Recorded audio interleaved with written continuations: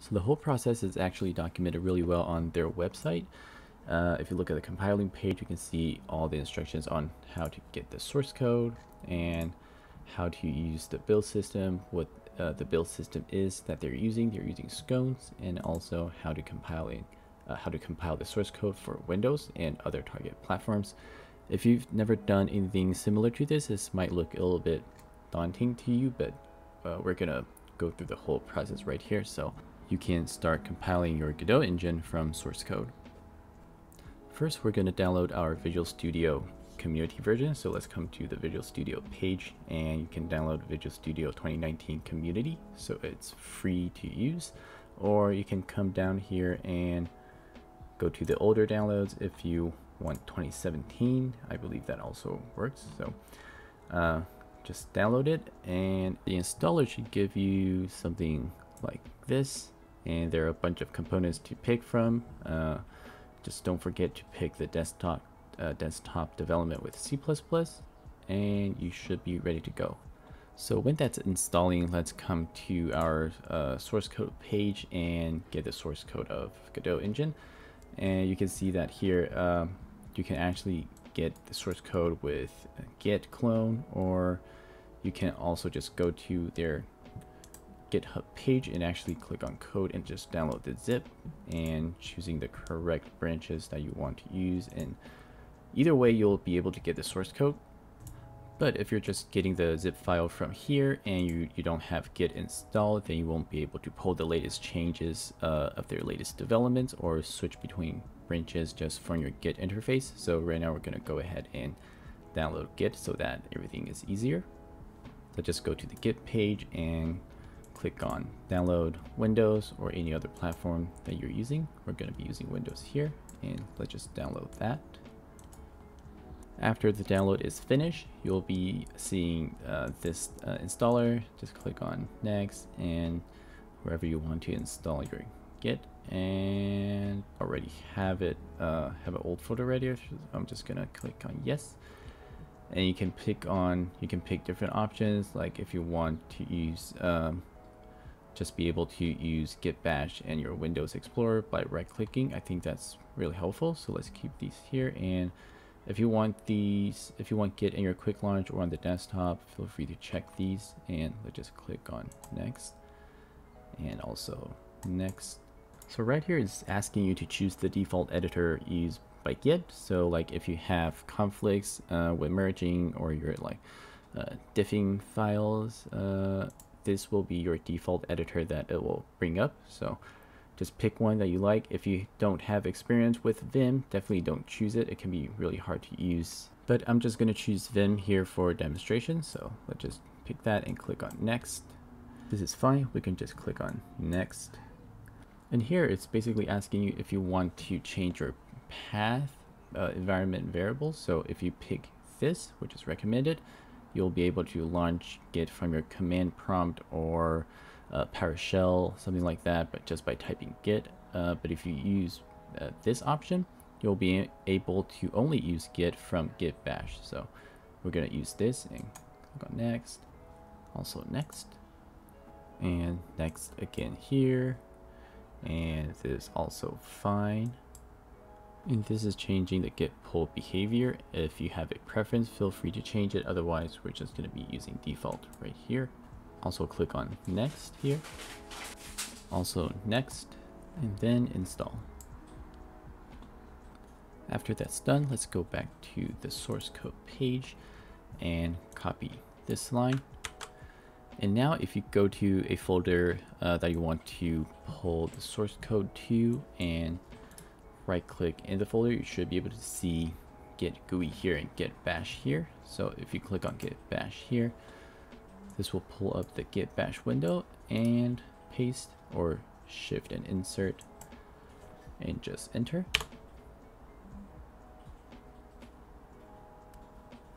That might take a while, but after it's done, you will have your source code here all of them and right now you will be on uh, actually we need to uh, change the directory into Godot and you can see that here it will show you that you're on the master branch now and if you want you can check out to different branches and if you just type git checkout and let's type three point and click on tab it will show you all the branches that uh, starts with three point something so you can switch to something like 3.3.2 stable you can tap to auto finish and you can just check out two different branches so you can build from different stable uh, versions of Godot.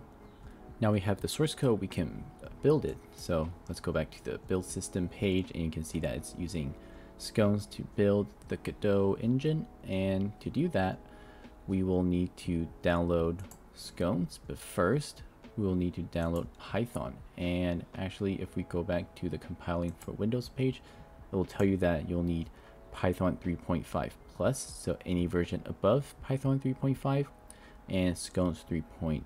Uh, and if you're using Visual Studio 2019, you'll need at least 3.1.1, so just keep that in mind. Now let's download Python first. Let's go to the Python page and we can just download Python 3.9.5. That is totally fine. After that's done, just click on the installer. And you can just click on install now. Uh, unless you have something that you really want to change uh, you can use customize uh, customize installation. Uh, but one thing uh, to note here is that don't forget to add python 3.9 to path so that you can just directly launch python uh, from your command line or PowerShell anywhere in your system. And just click on install once that's done let's just close it and let's go back to your Godot engine folder.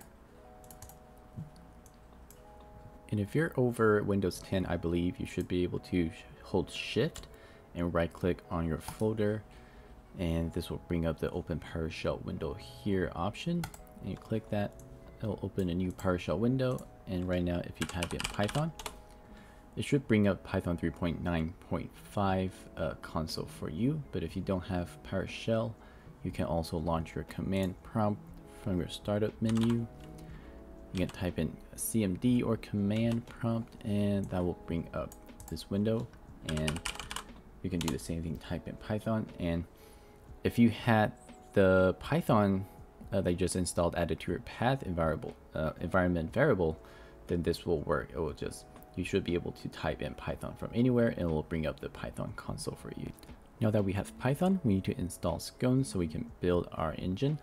Uh, so you can come here to SCons uh, download page and actually you can see that uh, Windows installer uh, is no longer provided uh, by the SCons project. So we recommend using pip install or you can just download the zip file and just run the setup.py file with your uh, Python. But what we're going to do here is, let's go back to our command prompt or our shell and exit. And actually, when you were installing Python, you actually uh, also installed uh, the pip package. So we can just type in pip install and SCons.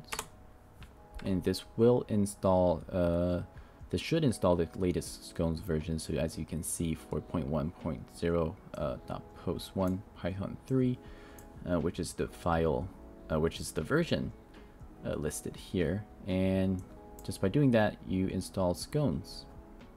Now let's go back to the compiling for Windows page and we're gonna start compiling uh, Godot engine from our source code. So let's come down here and it'll tell you, yeah, set up SCons. And down here in the compiling section, it will show you all the stuff that you need to know to compile your source code. So we're going to be running SCons like this, SCons platform equals to Windows, and you can also specify the CPU core that you wanted to use. So higher will be faster. So now we're going to bring back up our PowerShell again and make sure you are inside your Godot engine source code folder. Otherwise, it wouldn't be able to find the correct uh, source code to, to build. So let's just type in SCons J4. I'll be using four cores right here and also platform Windows. And depending on how powerful your CPU is, uh, this could take a while. Just wait for it to finish. After that's done, if you go back to your engine source code folder, you should be able to see the binary folder and inside the binary folder is your compiled Godot engine executable. If you double click on it, it will just like um, you getting the executable from other sources, you will be able to launch it and it has the editor and tools and everything.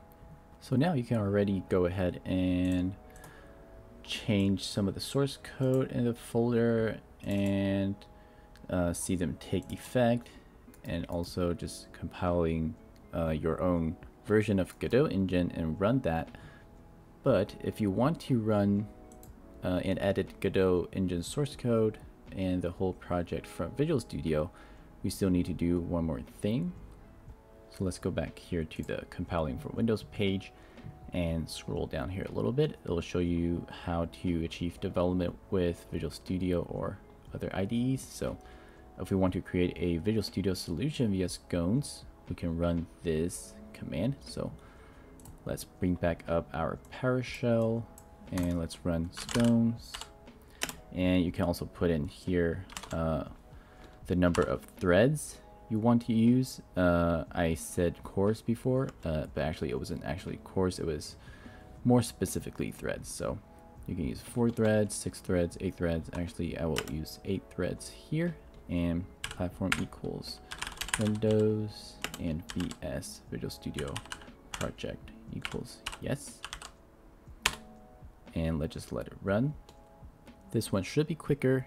And after it's done, go back to your source code uh, folder and go down here. You should see a new Godot a VS solution here along with the projects and project filters and stuff. So now you can double click on it and it should bring up the Visual Studio version that you have and you can launch uh, you can edit the code from there and also build the code directly from Visual Studio. Now, there's just one last thing that we need to do here. So right now, uh, if we go back to uh, compiling for Windows page and all the way down. So we don't actually currently have the export templates. So you can just copy the commands from here depending on the target platforms you want to use and paste it in. Also add in the threads, number of threads that you want to use if you would like to speed up the process a little bit. After that's done, let's actually go ahead and launch our Godot engine from Visual Studio. So if you come down here and just double click on Godot.solution, and after that you should be able to open your Godot project and see it in your Visual Studio. And you can see all the source files here, the header files, all the different modules, and you can edit from here and compile your project, uh, your Godot engine through Visual Studio. Uh, we're going to be using x64 and release debug here and you just you can just click on build in build solution to build the engine. Once the build is done you can click over here and launch the engine. After that you should be able to see Godot engine has launched correctly and you can just start from here and new project or import a project anything like that and start working as usual and that's it for this video. Hope you liked it and found it useful. If you did, please leave a like, comment, and subscribe. I really appreciate it, and I'll see you in the next one. Bye.